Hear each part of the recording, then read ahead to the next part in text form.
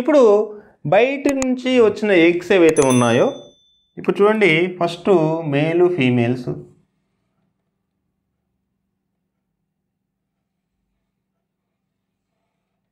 ఇది మే ఫీమేలు ఇది మేల్. ఈ మేలు ఫీమేల్స్ ఏం చేశాయి? ఎగ్స్ని పెట్టాయి. ఈ ఎగ్స్ యొక్క అవుట్ సైడ్ ఏ విధంగా ఉంది? వేవ్ లైక్ ప్రొజెక్షన్స్ ఉన్నాయి. దాని మధ్య లోపల న్యూక్లియస్ అనేది ఉంది. ఓకే. ఈ న్యూక్లియస్ ఎగ్ ఎగ్ యొక్క న్యూక్లియస్. ఎగ్ యొక్క న్యూక్లియస్ అనేది భూమిలో పడిన తర్వాత భూమిలో మట్టిలో ఉన్న మాయిశ్చర్ అంటే వాటర్ కంటెంట్ దాని యొక్క హ్యూమిడిటీ దాని యొక్క టెంపరేచర్ బేస్ చేసుకొని ఇక్కడ ఉన్న ఫెర్టిలైజ్డ్ ఎగ్ అనేది that converted into the larva form. Fertilized egg అనేది దేనిగా కన్వర్ట్ అవుతుంది? లార్వా ఫామ్గా కన్వర్ట్ అవుతుంది. అంటే న్యూక్లియస్ ఏమవుతుంది? లార్వాగా కన్వర్ట్ అవుతుంది. ఈ విధంగా కన్వర్ట్ అయిన లార్వాని ఏమంటారంటే ఫస్ట్ లార్వా అంటారు. ఇంకా లార్వా స్టేజ్ వచ్చేసిన తర్వాత ఈ లార్వా స్టేజ్ ఏం చేస్తుంది అంటే నెక్స్ట్ ప్రొ ప్రొసీజర్ లోపల సెకండ్ లార్వాగా కన్వర్ట్ అవుతుంది. సెకండ్ లార్వాగా.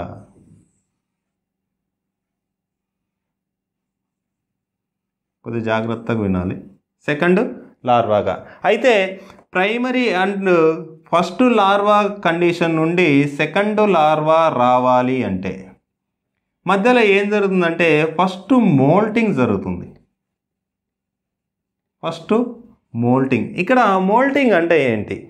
మోల్టింగ్స్ అంటే ఏంటి అంటే చూడండి నార్మల్గా మనము పాములు కుబుసంని విడుస్తాయని విడుస్తాయనేసి చెప్తాం. అంటే ఏంటి? తన యొక్క స్కిన్ని అవుట్ సైడ్ రిలీజ్ చేసేసి కొత్త స్కిన్ని ఫామ్ చేసుకుంటాయి. ఇక్కడ నార్మల్గా స్నేక్స్లో అబ్జర్వ్ చేస్తాం. అదేవిధంగా ఇక్కడ కూడా ఇదేంటి అంటే ఫస్ట్ లార్వా స్టేజ్ అనేది సెకండ్ లార్వా కన్వర్ట్ అవ్వాలంటే ఫస్ట్ లార్వా మీద ఉన్న అవుటర్ స్కిన్ అనేది రిమూవ్ చేసుకుంటుంది. రిమూవ్ చేసుకోవడం వల్ల సెకండ్ లార్వా అనేది ఏర్పడుతుంది. అంటే ఈ లార్వా నుండి ఈ లార్వాకి వచ్చేసరికి దాని యొక్క సైజ్ కానీ కనులో దానిలో కొంత డెవలప్మెంట్ జరుగుతుంది. దాని యొక్క ఓల్డ్ స్కిన్ అనేది రిమూవ్ అయిపోయి కొత్త స్కిన్ అనేది సెకండ్ లార్వా లోపల వస్తుంది. That is called as a second larva. ఈ ఈ యొక్క సెకండ్ లార్వా స్టేజ్లో ఉన్న ఈ ఎగ్ ఏదైతే ఉంటుందో this is called as a infective stage అంటారు. ఇన్ఫెక్టివ్ దీన్ని ఏమంటారంటే ఇన్ఫెక్టివ్ స్టేజ్ ఇప్పుడు ఇన్ఫెక్టివ్ స్టేజ్ అంటే ఏంటంటే ఇక్కడ నుంచి ఈ ఎగ్ అనేది అవుట్ సైడ్ వచ్చింది అవుట్ సైడ్ వచ్చిన తర్వాత ప్రైమరీ లార్వా సెకండరీ లార్వా అనేది బై ది ఫస్ట్ మోల్డింగ్తోన outside of the body లోపల జరిగింది.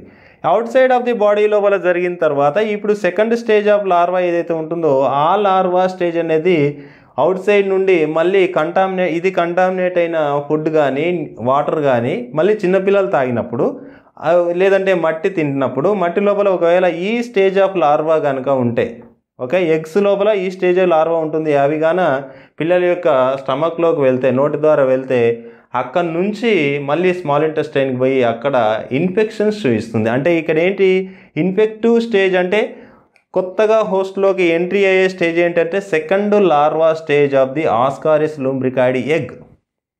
Clear?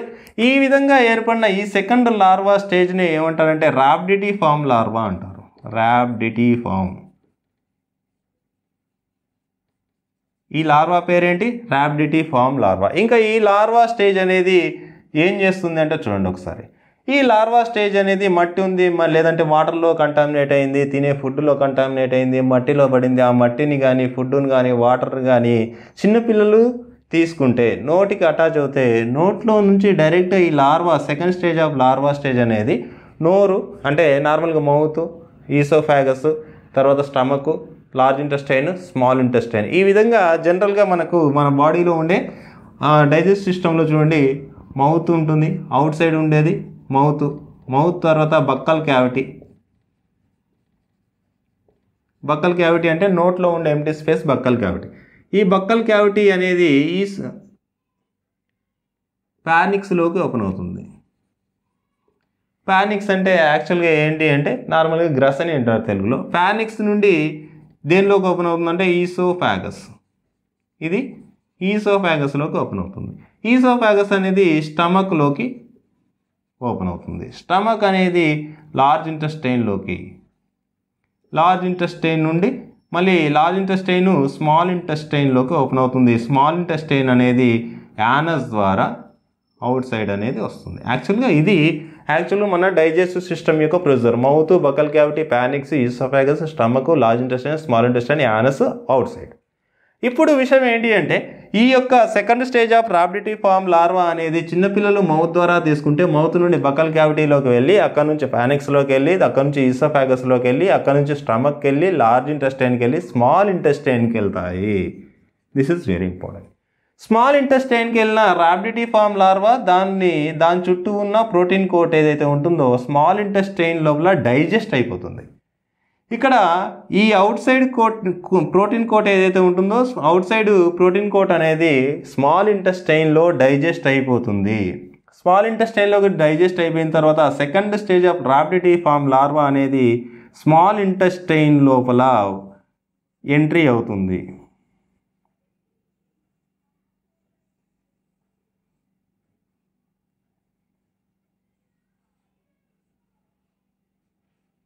ఇది యాక్చువల్గా లార్జ్ ఇంటెస్టైన్ ఈ ఈ యొక్క ఈ ఏరియా లోపల స్మాల్ ఇంటెస్టైన్ ఉంటుంది. ఈ స్మాల్ ఇంటెస్టైన్ లోపల యాక్చువల్గా ఈ ర్యాపిడిటీ ఫామ్ లార్వా ఉందనేసి అనుకున్నాం. ఓకే ఇది కూడా అంతా గ్రీన్ కలర్లో ఇచ్చేద్దాం. ఓకే ఈ విధంగా స్మాల్ ఇంటెస్టైన్లో ర్యాపిడిటీ ఫామ్ లార్వా అనేది ప్రోటీన్ కోట్ని దాని సైడ్ దాని చుట్టూ ఉన్న లిపిడ్ లేయర్స్ని తర్వాత సెల్ని మొత్తం డైజెస్ట్ చేసుకునేసి లార్వా అనేది స్మాల్ ఇంటెస్టైన్లోకి వచ్చింది. ఇప్పుడు దిస్ ఇస్ వెరీ ఇంపార్టెంట్ ఈ స్టేజ్ నుండి కొంత ఇంపార్టెంట్ ఇక్కడ ఏంటి? ఏ ఎక్కడ ఉంది? This is the small intestine small intestine small ఇంటెస్టైన్లోకి వచ్చిన ఇది ఏం చేస్తుందంటే స్మాల్ ఇంటెస్టైన్లో నుండి బ్లడ్లోకి ఎంటర్ అవుతుంది. స్మాల్ ఇంటెస్టైన్ నుండి బ్లడ్లోకి ఎంటర్ అయ్యేసి బ్లడ్ నుండి ఏం చేస్తుందంటే లివర్కి రీచ్ అవుతుంది. బ్లడ్ నుండి ఎక్కడ రీచ్ అవుతుంది? లివర్కు రీచ్ అవుతుంది. ఒకసారి చూడాలి.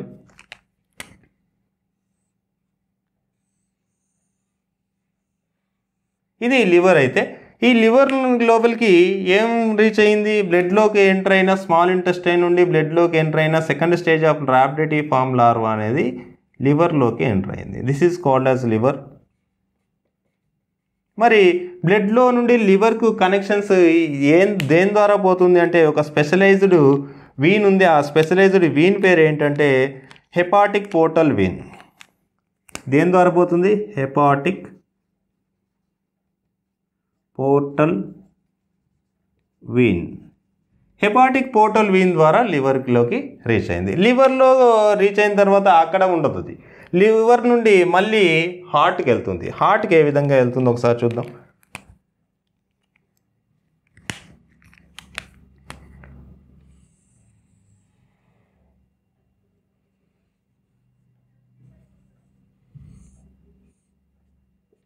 ఇది హార్ట్. ఇప్పుడు చూడండి లివర్ నుండి that directly reaches to the what? Heart. హార్ట్లోకి reach అవుతుంది. ఇది హార్ట్ హార్ట్లోకి రీచ్ అయిన rhabditiform larva. Second stage of rhabditiform larva. హార్ట్లోకి మరి లివర్ నుండి హార్ట్లోకి ఏ విధంగా వెళ్తుంది అంటే చూడండి post caval veins. Post caval veins.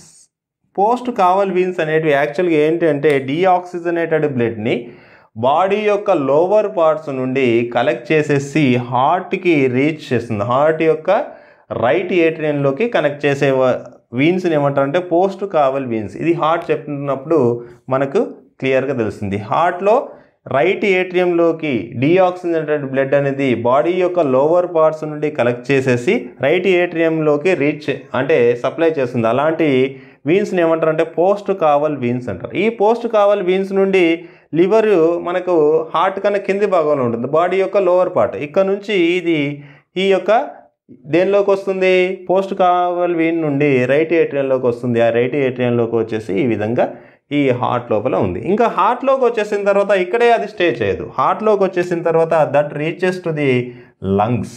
This is very important.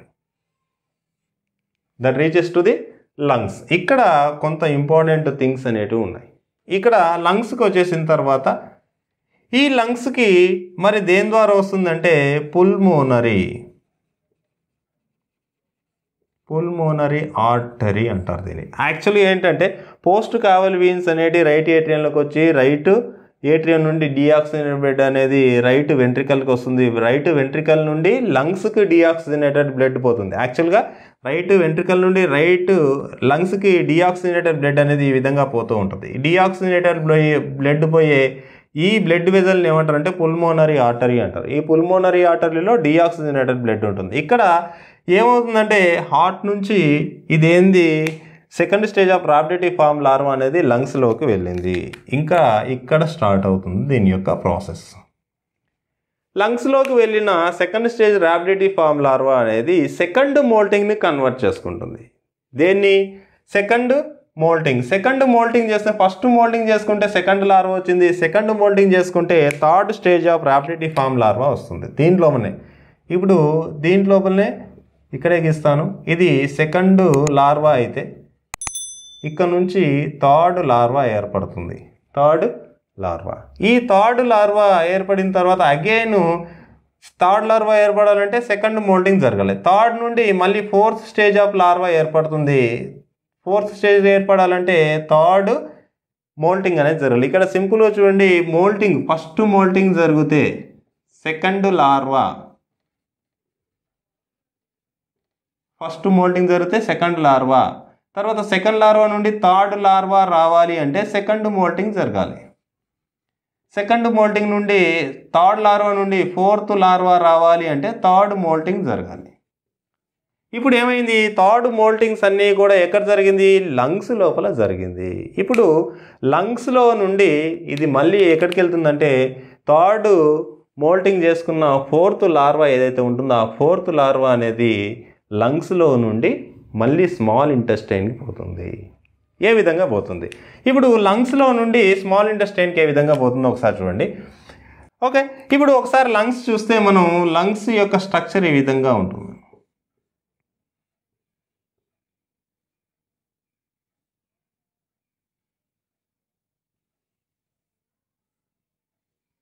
Lungs యొక్క స్ట్రక్చర్ ఈ విధంగా ఉంటుంది. ఈ లంగ్స్ లోపల ఏముంది అంటే ఫోర్త్ స్టేజ్ ఆఫ్ లార్వా అనేది ఉంది. థర్డ్ మోల్టింగ్స్ కంప్లీట్ చేసుకొని ఫోర్త్ లార్వా ఉంది. ఈ ఫోర్త్ లార్వా అనేది ఈ లంగ్స్ యొక్క ఎండింగ్ లోపల ఉంది. ఈ లంగ్స్ యొక్క ఎండింగ్స్ని ఏమంటారంటే అల్వియోలై అంటారు. అల్వియోలై. అంటే ఇప్పుడు చూడండి అల్వియోలై లోపల ఫోర్త్ స్టేజ్ ఆఫ్ లార్వా ఉంది. అల్వియోలై నుండి ఇది ఏం చేస్తుందంటే ఇవన్నీ కూడా బ్రాంకెస్ ఇవన్నీ కూడా బ్రాంచెస్గా డివైడ్ అయినాయి కాబట్టి బ్రాంకెస్ అల్వియోలే నుండి బ్రాంకెస్కి వెళ్తాయి. వెళ్తుంది అది బ్రాంకెస్కి వెళ్ళిన తర్వాత ఇక్కడ లార్జ్ పైప్ లైక్ స్ట్రక్చర్ అనేది రెండుగా డివైడ్ అయింది కాబట్టి దీన్ని ఏమంటారంటే ట్రాకియా అంటారు.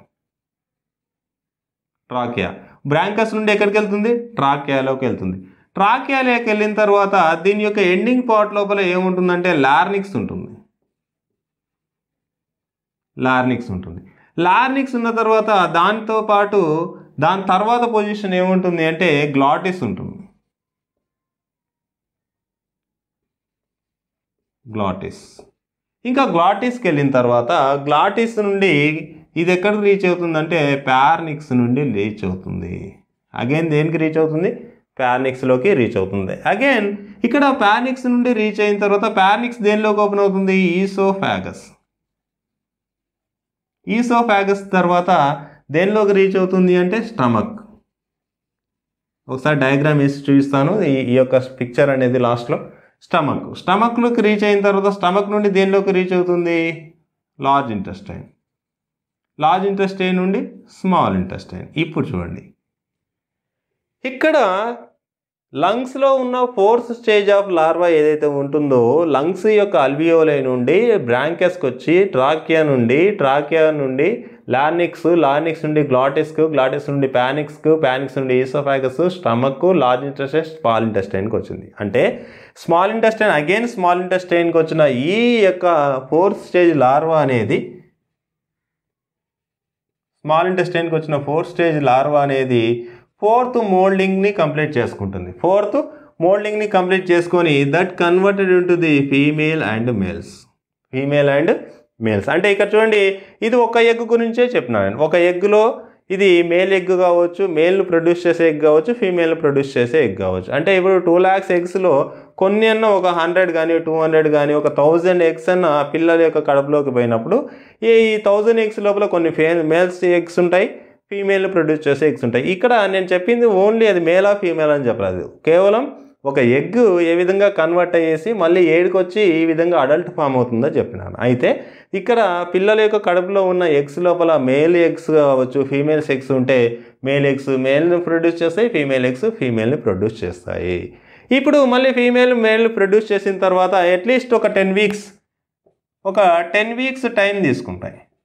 ఒక టెన్ వీక్స్ టైం తీసుకున్న తర్వాత మేలు ఫీమేల్స్ అనేటివి సెక్సువల్లీ మెచ్యూర్ అవుతాయి. సెక్సువల్గా మెచ్యూర్ అవుతాయి. అంటే they ready to the copulate. అంటే సెక్సువల్ కాంటాక్ట్ జరగడానికి రెడీగా ఉన్నాయి. ఇప్పుడు టెన్ వీక్స్ తర్వాత సెక్సువల్ కాంటాక్ట్ జరిగితే మేల్ ఫీమేల్ సెక్సువల్ కాంటాక్ట్ జరిగితే మళ్ళీ ఏం ఏర్పడుతుంది? ఫర్టిలైజ్డ్ ఎగ్ ఏర్పడుతుంది. This is one fertilised egg ఏర్పడిన తర్వాత ఫర్టిలైజ్డ్ ఎగ్ అనేది మమ్మిలేటెడ్ ఎగ్స్ అవి మళ్ళీ బయటకు రిలీజ్ అవుతాయి. బయటకు రిలీజ్ అయిన తర్వాత మళ్ళీ వాటిని పిల్లలు ఒకవేళ తింటే వాటర్ ద్వారా కానీ ఫుడ్స్ ద్వారా కానీ తర్వాత ఏదైనా కంటామినేటెడ్ ద్వారా కానీ తింటే మళ్ళీ ఇదే సైకిల్ అనేది ఫామ్ అవుతూ ఉంటుంది. సో ఇది యాక్చువల్గా ఏంటి అంటే life cycle of the Ascaris lumbricoides life cycle of the Ascaris lumbricoides దీని యొక్క పిక్చర్ ఒకసారి చూద్దాం ఇది ఎట్లా ఉంటుంది అనేది. ఒకసారి చూసుకున్న తర్వాత దీని లోపల ఏంటి తీసుకోవాల్సిన జాగ్రత్తలు ఏంటి ఆస్కారిస్ లూమ్రికాయిడ్స్ యొక్క సిమ్టమ్స్ ఏం కనబడతాయి అనేది ఒకసారి చూస్తే ఇది కంప్లీట్ అవుతుంది. ఓకే?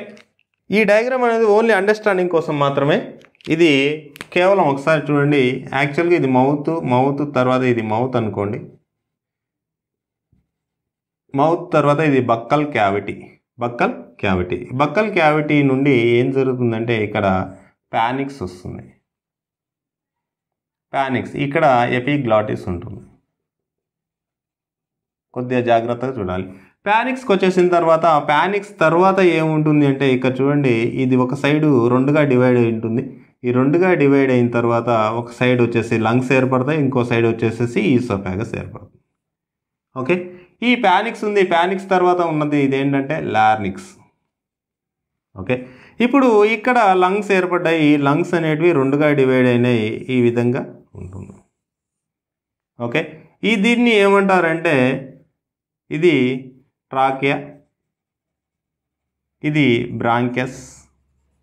తర్వాత ఈ బ్రాంకియోల్స్గా డివైడ్ అవుతుంది. బ్రాంకియోల్స్ అనేటివి మళ్ళీ ఫైనల్గా అల్వియోల్స్గా డివైడ్ అవుతాయి. ఇది బ్రాంకియా. ఈ బ్రాంకియా తర్వాత బ్రాంకియోల్స్. బ్రాంకియోల్స్గా డివైడ్ అవుతుంది. బ్రాంకియోల్స్ అనేటివి ఫైనల్గా అల్వియోల్స్గా డివైడ్ అవుతాయి. అయితే ఇప్పుడు చూడండి ఇక్కడ ఈ ఏర్పడిన ఈ పార్ట్ అంటే డివిజన్ డివిజన్ లోపల ఒక సైడ్ లంగ్స్ ఏర్పడితే ఇంకో సైడ్ ఈసోఫాగస్ ఏర్పడుతుంది. ఇది oesophagus. Again oesophagus elongated tube like structure అది స్టమక్ లాగా కన్వర్ట్ అవుతుంది. స్టమక్లోకి ఎంటర్ అవుతుంది. This is called as a stomach stomach రఫ్గా రాస్తున్నాను. ఇంకా స్టమక్ అనేసి డియోడినమ్గా కన్వర్ట్ అవుతుంది. డియోడినమ్ అనేది ఏం చేస్తుంది అంటే లార్జ్ ఇంటెస్టైన్లోకి ఓపెన్ అవుతుంది ఈ విధంగా.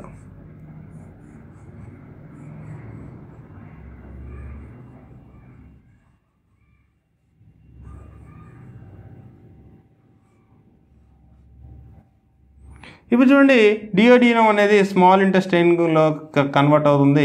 స్మాల్ ఇంటెస్టైన్లోకి కన్వర్ట్ అయిన తర్వాత లార్జ్ ఇంటెస్టైన్లోకి కన్వర్ట్ అవుతుంది. లార్జ్ ఇంటెస్టైన్ నుండి ఏమవుతుందంటే అన్జెస్టెడ్ ఫుడ్ అనేది ఇది anus this is called as anus anus ద్వారా బయటికి పోతుంది. అయితే ఇక్కడ మనం చూ చూసుకోవాల్సింది ఏంటంటే లంగ్స్లోకి వచ్చిన తర్వాత లార్వాస్ అనేది ఫోర్త్ స్టేజ్ లార్వా ఏర్పడుతుంది. ఫోర్త్ స్టేజ్ లార్వా అనేది ఎక్కడికి వస్తుంది? అల్వియోల్లో ఉంటుంది. అల్వియోల్ నుండి బ్రాంకియోల్స్ లేదంటే బ్రాంకియా బ్రాంకియా నుండి ట్రాకియా ట్రాకియా నుండి లానిక్స్ లానిక్స్కి వచ్చి ప్యానిక్స్కి వస్తుంది. ప్యానిక్స్కి వచ్చిన తర్వాత ఈసోఫాగస్ స్టమక్ తర్వాత స్మాల్ ఇంటెస్టైన్లోకి వస్తుంది. స్మాల్ ఇంటెస్టైన్లోకి వచ్చిన తర్వాత అడల్ట్ ఫామ్గా కన్వర్ట్ అవుతుంది. అంటే ఆస్కారిస్ మేల్ ఫీమేల్గా కన్వర్ట్ అవుతుంది. తర్వాత టెన్ వీక్స్ తర్వాత అవి మెచ్యూర్ అవుతాయి. మెచ్యూర్ అయిన తర్వాత కోపులేషన్లో ఇన్వాల్వ్ అవుతాయి. ఎగ్స్ పెడతాయి. ఎగ్స్ అనేది లార్జ్ ఇంటెస్టైన్ నుండి బయటకు వెళ్తాయి. ఇది యాక్చువల్గా జరిగే ప్రాసెస్. Okay clear? ఇది అండర్స్టాండింగ్ కోసం ఇది అండర్స్టాండ్ అయినారంటే ఈ లెసన్లో చాలా వరకు ఆ ఫ్లో చార్ట్స్ ఈజీగా అర్థమవుతాయి. ఇక నెక్స్ట్ ఏంటంటే చూడండి దీని యొక్క సిమ్టమ్స్ ఆస్కారిస్ లూంబ్రికాయిడ్స్ అనేది చిన్నపిల్లల యొక్క స్మాల్ ఇంటెస్టైన్లో గ్రోత్ అవుతుంది అన్నప్పుడే తెలుస్తుంది. స్మాల్ ఇంటెస్టైన్లో పెయిన్ అనేది వస్తుంది. నార్మల్గా ఏమొస్తుంది? పెయిన్ అనేది వస్తుంది. ఇంకా ఇదేం చేస్తుంది అంటే మెనీ నెంబర్ ఆఫ్ జనరేషన్స్ అనేటివి ప్రొడ్యూస్ అవ్వడం వల్ల huge amount of Ascaris male females అనేటివి స్మాల్ ఇంటెస్టైన్లో ఉండిపోతాయి. అలా స్మాల్ ఇంటెస్టైన్లో ఎక్కువగా ఉండిపోవడం వల్ల మేలు ఫీమేల్స్ అనేది ఏం చేస్తాయంటే పిల్లలు తిన్న ఫుడ్ యొక్క న్యూట్రియన్స్ మొత్తం మేలు ఫీమేల్స్ లాగేసుకుంటాయి. అలా ఈ యొక్క రౌండ్ వామ్సే తిన్న ఫుడ్ మొత్తం తినడం వల్ల పిల్లల యొక్క గ్రోత్ అనేది రిటార్డ్ అవుతుంది. ఏం జరుగుతుంది? గ్రోత్ రిటార్డ్ గ్రోత్ రిటార్డ్ అనేది జరుగుతుంది. ఇంకా ఈ యొక్క స్టమక్ అనేది ఎన్లార్జ్ అవుతుంది. స్టమక్ అనేది కొంత పెయిన్గా ఉండేసేసి కొంత స్ట్రక్చర్గా కూడా కొంత చేంజ్ అవుతుంది. యాక్చువల్గా ఇది దీని యొక్క సిమ్టమ్స్ పెయిన్ ఉంటుంది గ్రోత్ రిటార్డ్ ఉంటుంది స్టమక్ అనేది కొంత ఎన్లార్జ్ అవుతుంది. ఇవి దీని యొక్క సిమ్టమ్స్ అయితే దీని నుంచి తీసుకోవాల్సిన జాగ్రత్తలు. ఇది రాకుండా ఏ విధంగా జాగ్రత్తలు తీసుకోవాలి? దాన్నే ప్రోఫిలాక్సిస్ అంటారు. ప్రో ఫిలాక్సిస్ దీని దీని నుండి తీసుకోవాల్సిన జాగ్రత్తలు ఏంటంటే ప్రోఫిలాక్స్ యాక్చువల్గా ఇది ఏంటి మట్టిలో కలుస్తుంది. ఎగ్స్ అనేవి మట్టిలో కలుస్తాయి కాబట్టి మట్టి కానీ ఫర్ ఎగ్జాంపుల్ ఫీకల్ మ్యాటర్స్ అనేటివి ఎప్పుడైతే మట్టిలో కలుస్తున్నాయో ఆ ఫీకల్ చిన్నపిల్లల యొక్క ఫీకల్ మ్యాటర్ మట్టిలో కలిసినప్పుడు ఆ ఫీకల్ మ్యాటర్లో ఉన్న ఎగ్స్ అనేటివి మట్టిలో కలుస్తున్నాయి. కాబట్టి ఇప్పుడు ఫీకల్ మ్యాటర్ అనేది మట్టిలో కలవకుండా ఉండాలంటే చిన్నపిల్లలు వాటి యొక్క ఎక్స్క్రిషన్ అనేది అవుట్ సైడ్ జరగకుండా ఏంటంటే టాయిలెట్స్ యూజ్ చేయడం వల్ల ఈ డిసీజెస్ని కొంత ప్రివెంట్ చేయొచ్చు. టాయిలెట్స్ని యూజ్ చేస్తే టాయిలెట్స్లో నుండి ఆ సెప్టిక్ ట్యాంక్లోకి వెళ్తుంది. అప్పుడు ఏమవుతుందంటే అక్కడే కొన్ని రోజులకు అది చనిపోతుంది. అలా కాకుండా టాయిలెట్స్ కాకుండా అవుట్ సైడ్ ఎక్స్క్రిట్ చేస్తే భూమిలో కలుస్తుంది. భూమిలో కలిస్తే ఏమవుతుంది? ఆ చిన్నపిల్లలు మళ్ళీ అదే ప్లేస్లో ఆడుకుంటే అదే మట్టి తింటారు. మట్టిలో నుంచి లోపలికి పోతుంది. అలా కాకుండా నెక్స్ట్ ఏం జరుగుతుందంటే ఆ భూమిలో కలిసిన ఆ లార్వాస్ అనేటివి ఫర్ ఎగ్జాంపుల్ వర్షం పడిందంటే వర్షం పడినప్పుడు మట్టిలో ఉన్న ఈ యొక్క ఎగ్స్ అన్నీ కూడా ఏమవుతున్నాయి? నార్మల్గా వాటర్లో కలిసిపోతాయి. వాటర్లో కలిసిపోయిన తర్వాత అన్ఫార్చునేట్గా మనం ఆ వాటర్ని తాగుతాం. కొన్నిసార్లు ఏమవుతున్నాయి? ఇప్పుడంటే మొత్తం ఫిల్టర్ వాటర్స్ ఉన్నాయి. ఇంతకుముందు ఎక్కడైతే చెరువులలో కుంటలలో బావులలో వాటర్ తాగేవాళ్ళు. అంటే ఇప్పుడు ఏమిటి? వర్షం పడినప్పుడు కంటామినేటెడ్ ఎగ్స్ అనేటివి చెరువులలో బావిలు కుంటలోకి వెళ్ళేవి. అప్పుడు అదే వాటర్ని మళ్ళీ తీసుకునేవాళ్ళు. ఓకే? అలా తీసుకున్నప్పుడు మళ్ళీ ఇన్ఫెక్షన్ స్టార్ట్ అయింది ఇలా కాకుండా అదే వాటర్ని మళ్ళీ అక్కడ కూరగాయలు కానీ ఆకుకూరలు కానీ ఫ్రూట్స్ కానీ ఇవన్నీ పెంచడానికి యూజ్ చేసేవారు. అలా పెంచినప్పుడు అక్కడ కల్టివేట్ చేసే వాళ్ళ యొక్క చేతులకు ఇవి అంటుంటాయి. అవి వాటిని వాటితోనే వాళ్ళు ఏం చేస్తారంటే హార్వెస్ట్ చేస్తారు. ఆ యొక్క చేన్ని హార్వెస్ట్ చేయడం కానీ ఆకుకూరలు హార్వెస్ట్ చేయడం కానీ ఫ్రూట్స్ని కోయడం కానీ ఇవన్నీ చేస్తారు. కోస్తున్నప్పుడు ఇవి దానికి అంటుతాయి మళ్ళీ ఇదే చూడండి ఒకసారి మట్టిలో కలిసినవన్నీ కూడా వాటర్లోకి పోయి వాటర్లో నుండి ఫ్రూట్స్ కానీ వెజిటేబుల్స్ కానీ తర్వాత నెసరీ థింగ్స్ అన్నిటి కూడా అటాచ్ అవ్వడం వల్ల వాటిని మనం కడగకుండా తింటే వాటిని మనం కడగకుండా తింటే మళ్ళీ మన కడుపులోకి పోతాయి. చిన్నపిల్లలకు పోతే వెరీ డేంజరస్గా ఉంటుంది. సో ఇది ఈ విధంగా జరుగుతుంది కాబట్టి ఫస్ట్ ప్రోఫిలాక్సిస్లో తీసుకోవాల్సిన జాగ్రత్తలు ఏంటి అంటే టాయిలెట్స్ యూజ్ చేయాలి. టాయిలెట్స్ యూజ్ చేయాలి. నథింగ్ బట్ ఎక్స్క్రీషన్ అనేది అవుట్ సైడ్ పోకూడదు. ఎక్స్క్రీషన్ అవుట్ సైడ్ పోకుండా ఉంటే ఇది తగ్గిపోతుంది. రెండోది ఏంటంటే క్లీన్గా వాష్ చేసిన వెజిటేబుల్స్ని తినాలి. క్లీన్ వాషబుల్ వాష్ చేసిన వెజిటేబుల్స్ కానీ ఫ్రూట్స్ కానీ తీసుకోవాలి. ఓకే? తర్వాత మూడోది ఏంటి అంటే ఆ నాన్ కంటామినేటెడ్ వాటర్ తీసుకోవాలి. లేదు అంటే వాటర్ని హీట్ చేయాలి. హీట్ చేసినా కూడా సమ్ హై టెంపరేచర్ దగ్గర ఈ యొక్క ఎగ్స్లో ఉన్న లార్వాస్ అనేటివి secondary stage of rhabditiform larva అనేది చనిపోతుంది. సో ఈ విధంగా దీని యొక్క ప్రికాషన్స్ తీసుకోవడం వల్ల ఏంటంటే ఈ డిసీజ్ అనేది స్ప్రెడ్ కాకుండా ఆపవచ్చు సో ఇదండి. యాక్చువల్గా life cycle of Ascaris lumbricoides కొద్దిగా లెంతీగా ఉన్నా కూడా వెరీ ఇంపార్టెంట్. ఈజీగా అర్థమవుతుంది. ఈజీగా కూడా రాయొచ్చు. Okay clear? ఐ హోప్ ఇది మీకు క్లియర్గా అర్థమైంది అనేసి అనుకుంటున్నాను. ఒకవేళ మీకు కనుక అర్థమైంటే ఇది యూస్ఫుల్ అనుకుంటే నా ఛానల్ని సబ్స్క్రైబ్ చేయండి లైక్ చేయండి. అదేవిధంగా మీ ఫ్రెండ్స్తో షేర్ చేసుకోండి. మీ యొక్క డౌట్స్ కానీ ఏమైనా సజెషన్స్ ఉంటే కామెంట్ బాక్స్లో పోస్ట్ చేయండి. Thank you.